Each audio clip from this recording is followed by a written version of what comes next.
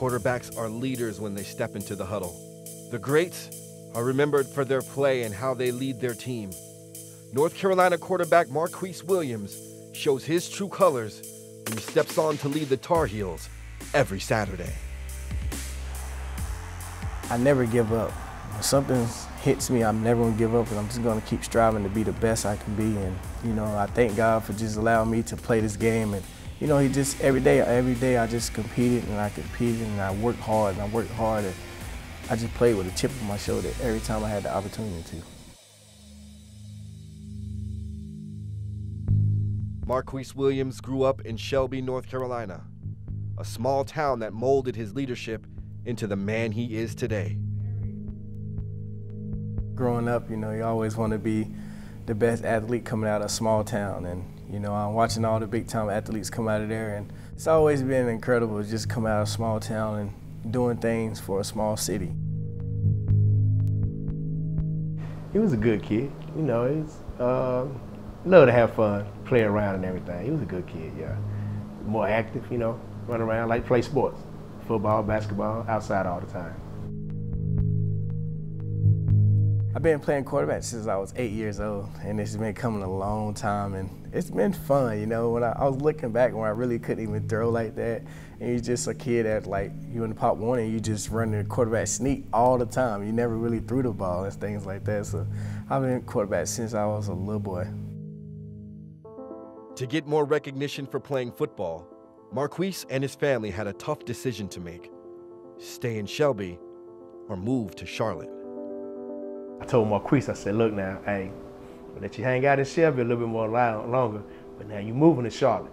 That didn't sit well with Marquise. He would want to move to Charlotte. That summer, my dad was like, you know, just let you know you'll be coming and moving in Charlotte with me.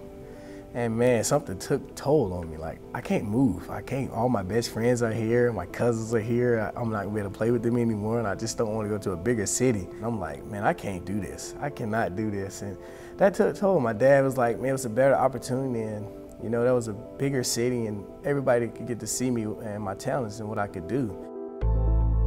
Next morning, he went to school, and asked how his first day went. Marquise was like, went all right. I, I met a friend. He went through the same thing I went through. You uh, know, you know, he's he's doing all right. He, I'm okay. I said, all right, and cool. So it grew on him a little bit, and as it grew on him, you know, it, it kind of got him.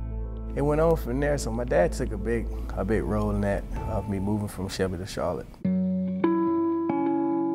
Being the new kid in a new city can be rough, and Marquise had to earn the trust of his new teammates at Mallard Creek High people heard me talk and they was like, oh, we have a name for you in this big country. I'm like, what does that mean? They was like, you really are country, bro. Like, you really are country and you're not a city guy. I'm like, all right, then it just felt weird because you know you you wouldn't talk like them or you wouldn't do things they would do, and it's just the adjustment. It was just bigger. I let them know, hey man, you, are not gonna put me down. I'm gonna just come out here and I'm gonna throw for 400, and I'm gonna probably rush for 100, and probably end up maybe seven or eight touchdowns, just like I did at Mallard Creek.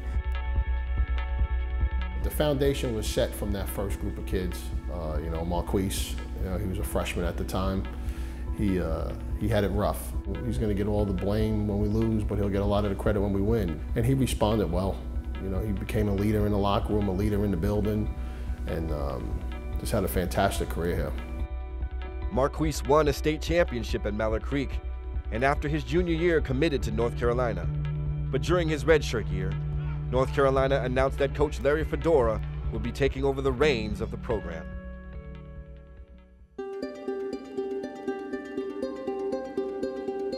Everybody was telling me, like, bro, you should just get up out of there because you're going to be just some other name that just was a top recruit and then just being looked over. And then I was just like, man, nobody's going to look me over. I'm just going to compete. He was a very talented young man. You could see that he had all the skills. In fact, he had the skills that we really look for in a quarterback in this offense because he can beat you with both. He can beat you with his arms, he can beat you with his legs. Uh, you know, and at that time I had no idea of, of the personality and, and uh, whether he had the it factor or not, you know, and so that, that was something that we had to learn as we went.